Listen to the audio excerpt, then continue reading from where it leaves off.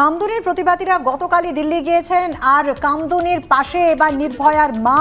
আজ তিনি প্রতিবাদীদের সঙ্গে দেখা করতে পারেন বলে জানা যাচ্ছে। অন্যদিকে দিল্লিতে জাতীয় মহিলা কমিশনের প্রতিনিধিদের সঙ্গে দেখা করতে পৌঁছলেন কামদুনির প্রতিবাদীরা। যে ছবি আপনারা দেখতে পাচ্ছেন, যেটা জানা যাচ্ছে যে এরপর যন্তর মন্তর বা বিজয় চকে তারা ধর্নায় বসবেন, ধর্নায় এসে মৌসুমি টুম্পাদের সঙ্গে দেখা করতে পারে নির্ভয়ার মা। কামদুনি প্রতিবাদীরা সাফ জানিয়েছেন যে তারা রাজ্য সরকারের উপর ভরসা রাখতে পারছেন না এবং সেই কারণেই তাদের দিল্লি যাত্রা। সরাসরি আপনাদের নিয়ে যাব নয়াদিল্লি। আমাদের প্রতিনিধি উজ্জ্বল মুখোপাধ্যায় আমাদের সঙ্গে রয়েছেন। উজ্জ্বল একদিকে যখন আইনি লড়াইয়ের প্রস্তুতি নিচ্ছেন কামদুনির প্রতিবাদীরা তার পাশাপাশি জাতীয় মহিলা কমিশনের প্রতিনিধিদের সঙ্গে আজকে তারা দেখা করতে এলেন। আজ তাদের বাকি দিনের কি কর্মসূচি রয়েছে?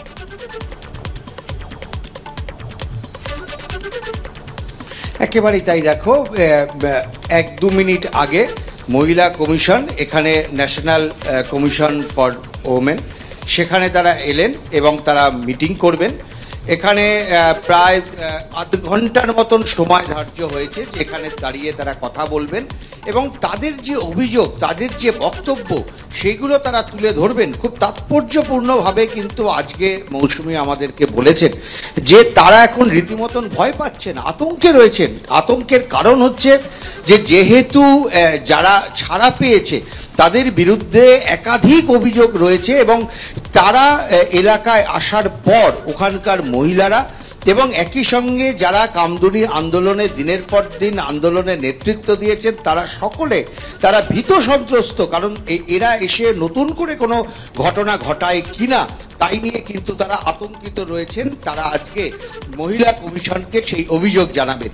এরপর যে কর্মসূচি রয়েছে, সেই কর্মসূচির মধ্যে রয়েছে যে অনুমতি মিলেছে। তারা কিন্তু আজকে এখানে ধর্নায় বসবেন। সিদ্ধান্ত হয়েছে যে বিকেল চারটে থেকে ছটা পর্যন্ত তারা ধর্না দেবেন এবং সেই ধর্না কর্মসূচিতে বিজেপির প্রথম সারির কোনো নেতৃত্ব অথবা কোনো মন্ত্রী আসতে পারেন, এমনটাই কিন্তু আমাদের কাছে খবর। একই সঙ্গে তারা চেষ্টা করছেন যে যাতে নির্ভয়া কাণ্ডের যিনি মা তাকে এই কর্মসূচিতে আনার জন্য তার কারণ হচ্ছে ইতিমধ্যেই আমরা দেখেছি যে কামদুনির ঘটনা ঘটার পর তিনি সোচ্চারে প্রতিবাদ জানিয়েছিলেন। হাইকোর্টের রায়ের পরও কিন্তু তার মন্তব্য সামনে উঠে এসেছিল। তিনি বলেছিলেন যে দুর্ভাগ্যজনক রায়, বিচার পেল না মেয়েটা।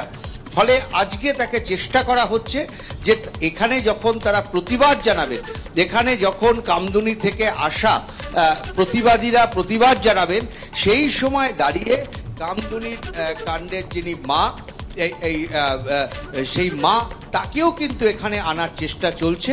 হয়তো তিনি কিছুক্ষণের জন্য আসবেন। ফলে সব মিলে কিন্তু দিল্লিতে ঠাসা কর্মসূচি। একদিকে মহিলা কমিশন উজ্জ্বল ধন্যবাদ। আজকে একাধিক কর্মসূচি রয়েছে কান্দনের প্রতিবাদীদের। অবশ্যই সেই খবরে আমাদের নজর থাকবে।